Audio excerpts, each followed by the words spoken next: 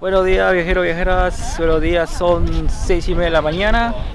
Hoy día nos hemos despertado temprano para ver el amanecer acá en frente a Angkor Wat. Ha estado muy bonito como han podido ver este, las imágenes que les puse. Y vale la pena venir temprano, eso sí se va llena de gente así que traten de venir lo antes posible. A las 5 de la mañana en punto abren, así que es mejor que estén 4 y media afuera y ya una vez que entran, entran con todo el batallón porque es una mancha increíble que entra aquí. O prácticamente es imposible que estés solo, pero llegas, no importa, siéntate en la tierra para que tengas una buena posición para que puedas tomar foto y para que puedas grabar. Hoy día, nuestro segundo día, es el día más corto en lo que es el itinerario porque ya son templos principales que están cerquita a Angkor Wat y el, la ciudad imperial, así que va a ser mucho más sencillo que, que ayer que hicimos la ruta larga. Ya me estoy yendo al otro templo el que está más alejado de las que voy a visitar hoy día, pero está a unos 20-25 minutos, así que vamos para allá y les voy contando otras cositas en camino. Bueno, mientras voy caminando hacia la moto, les voy dando dos consejos para cuando vengan temprano a ver el amanecer. El primero es que se traigan siempre una casaquita, una chompa, porque temprano hace bastante frío, a pesar que después va a ser calor. Lo segundo es que te puedes traer tu desayunito, tu pan, tu quesito y mientras vas esperando que obviamente ya empiece a salir el sol o se empieza a aclarar, sentadito ya en tu sitio esperando, te puedes ir preparando tu sándwich con tu yogur así como dicen. Tranquilo, yo ya desayuné, vi el amanecer, ya tomé fotos, ya grabé, estoy feliz y así que me voy ahora sí poca la moto. Dos consejos y ya podemos continuar.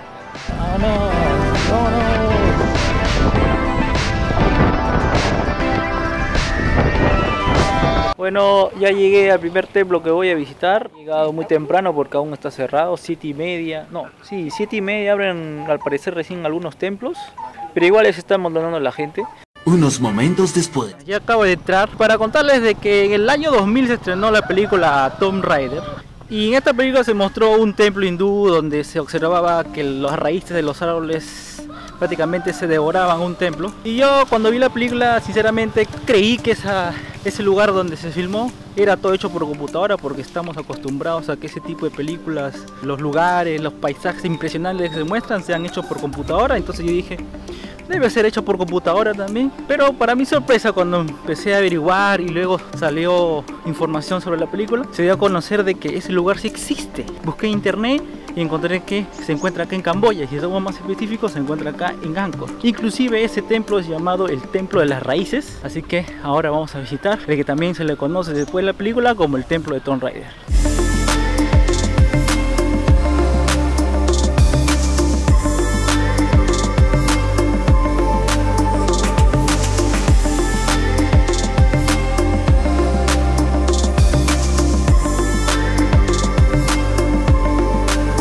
Viajeros viajeras, es imposible, inclusive por temas medioambientales no, no se debería cortar las raíces de los árboles, pero el problema principal es que si se intentara hacer eso, prácticamente el templo se derrumbaría porque las raíces están tan impregnadas al templo y a la piedra que ya vienen a formar como un solo cuerpo.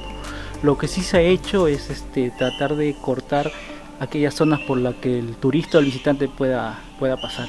Es increíble cómo la naturaleza prácticamente se ha devorado el templo. Es lo que sale en la película y es impresionante.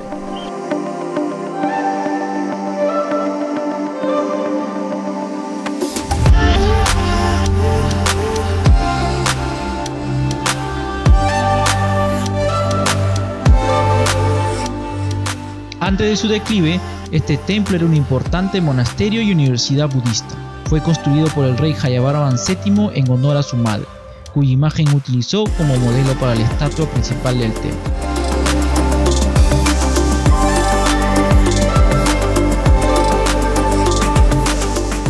Bueno, acabo de llegar al siguiente templo que lo consideran o es el único templo inacabado aquí en Angkor y no se terminó y hasta el día de hoy es un misterio. Hay dos teorías. La primera es que el rey que mandó construir este templo falleció cuando, en plena construcción y se abandonó las obras. Y el segundo fue por un caso o un tema de superstición porque se dice que cayó un rayo encima del templo y eso significaba mal augurio, mala suerte o de que algo malo iba a pasar. Así que se dejó, se abandonó el templo. Lo que sí es cierto es que tengo que subir todos estos escalones para poder llegar a la torre principal. Va a ser bien bravo. Y no le deseo a nadie que se caiga estos escalones porque están bien jodidos.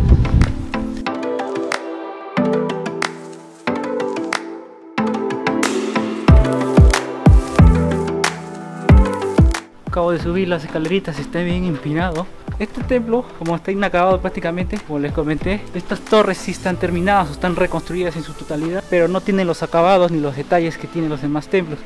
Eso ha permitido entender en cierta forma de que al parecer los gemeres primero construían el templo o levantaban las construcciones y una vez que están terminadas las construcciones recién empezaban a tallar todos los detalles.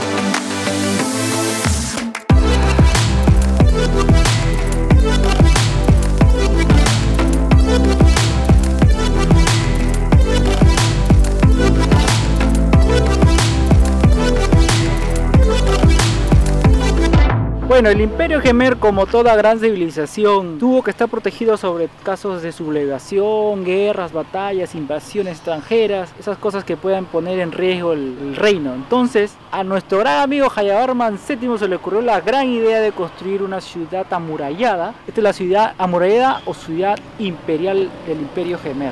Los años de guerras entre los ejércitos Gemer y los Champas por el dominio del territorio habían ocasionado un enorme daño a los templos de Angkor. Por ello, Jayavarman VII daría la orden de construir la gran ciudad amurallada conocida como Angkor Thom. En ella se construyeron cuatro puertas, siendo la más importante y mejor conservada la puerta sur.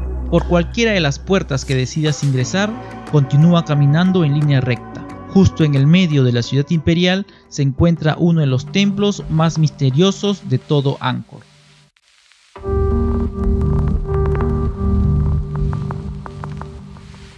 Este templo que probablemente genera mayor misterio a comparación de otros es el templo de Bayón. Con sus 200 rostros tallados en piedra, construido durante el reinado de Jayavarman VII.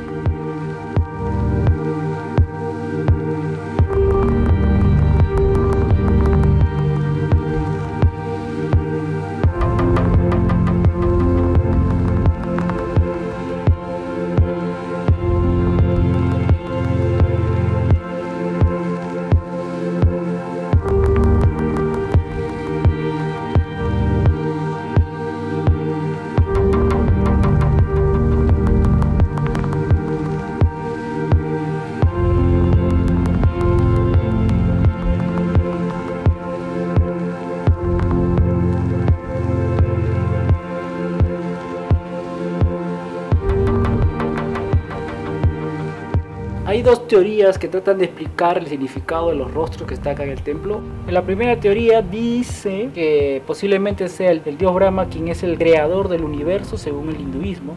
Y la segunda teoría es que posiblemente sea el rostro del rey que lo mandó a construir, nuestro amigo Jayavarman VII, que quiso dejar su legado para que sepan quién construyó tremendo templo. Sea cierto o no, cualquiera de estas dos teorías lo cierto es que nadie queda indiferente cuando entra al templo y sobre todo cuando llega a la puerta superior donde están todos los rostros es una cosa impresionante, es una cosa de locos. No se queden solamente arriba, este, caminen por los laterales, piérdanse por el templo, el templo es bien grande, es bien bonito, hay varios callejones que te llevan a lugares interesantes, caminen, caminen a pesar que haga sol, pero dentro de los templos hay sombrita, así que como que ahí uno se puede refrescar. Viajeros, viajeras, hora almuerzo, mediodía, voy a almorzar, estoy bajo un árbol como ven, entonces vamos a almorzar pero eso sí siempre tráiganse una bolsa para que lleven su basura. El plan de mediodía es la hora ideal porque es cuando el sol sí está quemando pero con todo.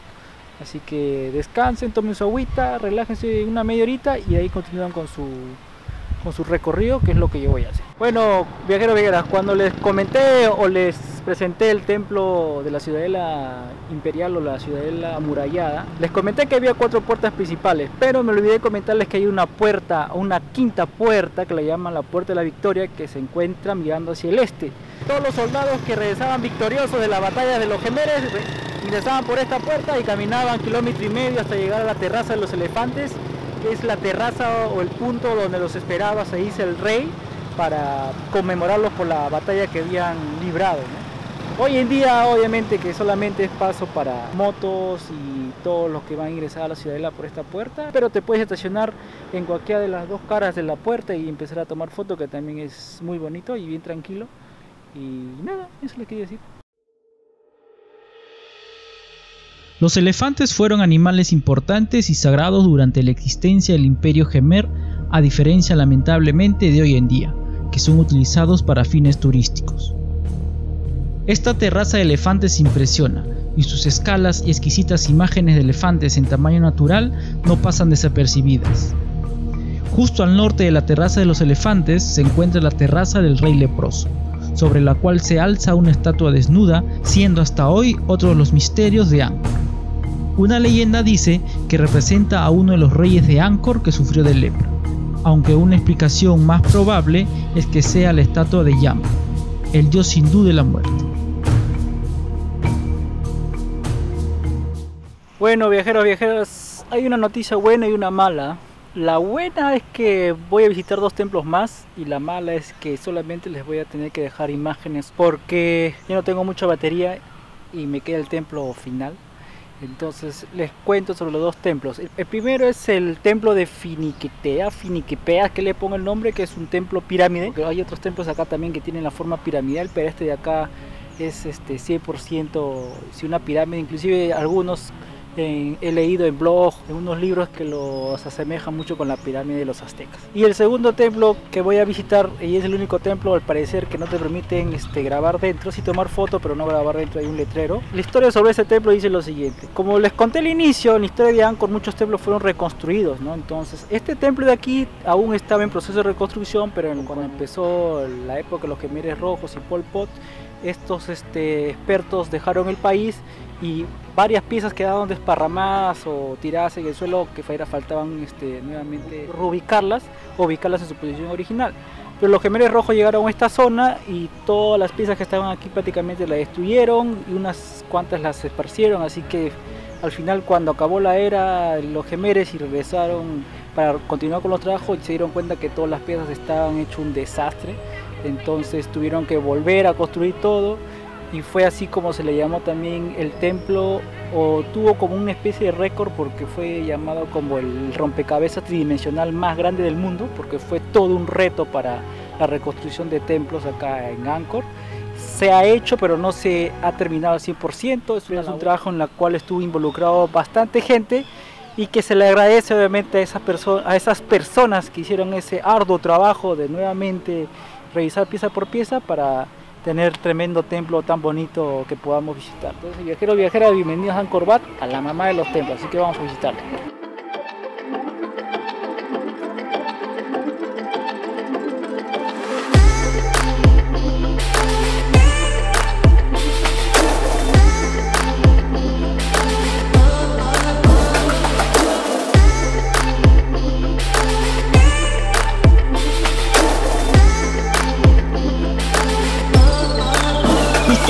Camino nos encontramos con dos pequeñas construcciones prácticamente idénticas que se las conoce como las bibliotecas de Angkor.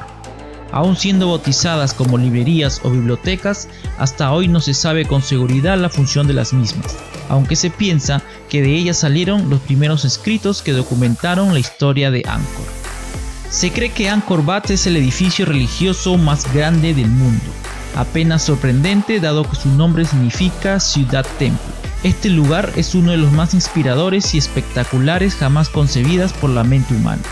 Simplemente único y con una impresionante mezcla de espiritualidad y simetría. Un perdurable ejemplo de la devoción del hombre a sus dioses.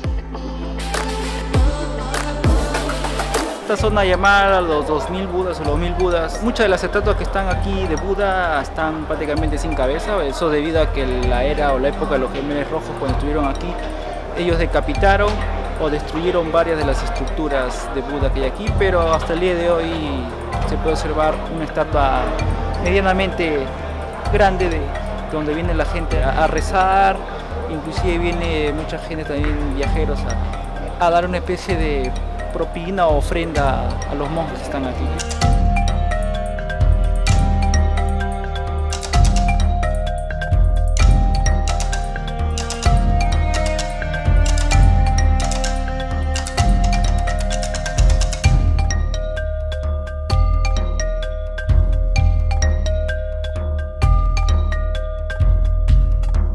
En los más de mil metros cuadrados de la gran pared exterior de la galería de Angkor Wat encontrarás una cantidad increíble de paredes completamente cubiertas, sin espacio y sin descanso de imágenes cortadas en la superficie de la piedra. Las batallas suelen estar muy representadas en los bajorrelieves del templo, como símbolo del poder del imperio Gemer y destacando en muchos de ellos la fuerza de su ejército. Por estas imágenes están acá, se ve que estos gemeres, uno, que no eran pacíficos, eso es obvio porque siempre buscaban expandir el imperio, el otro que siempre estaban en constante lucha, batalla con todo lo que tenían. Una de las representaciones más llamativas que vas a poder encontrar aquí en estas paredes es una especie de creación del universo de los dioses hindús en base a, una especie de pelea, enfrentamiento entre dioses y demonios.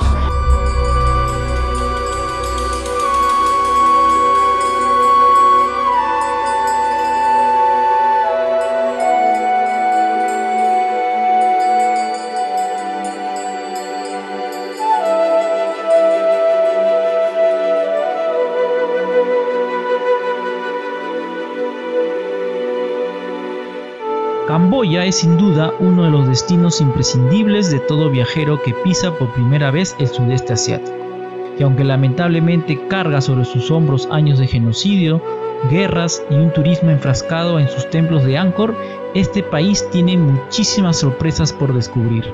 Nosotros la visitamos un mes y aún así estamos convencidos que no hemos visto ni la cuarta parte de todo lo que tiene por ofrecer. Bueno viajeros y viajeras, ha sido todo un gusto recorrer con ustedes estos dos días de Angkor. Espero que lo hayan pasado bien, espero que hayan aprendido algo. Yo también he aprendido mucho porque he tenido que informarme sobre los templos Angkor para que, no sufrir de templitis aguda, o sea, aburrirme de ver tantos templos. Cada templo tiene una función o ha tenido un porqué. Con eso he podido disfrutar más mi recorrido de de dos días aquí en Angkor. Me despido, Berrito no ha venido a, visitar con nosotros, como ella le comentó por tema del precio que ella no le gusta tampoco mucho los templos, entonces ya nos veremos en el próximo capítulo que no sé dónde será. Entonces, hasta luego.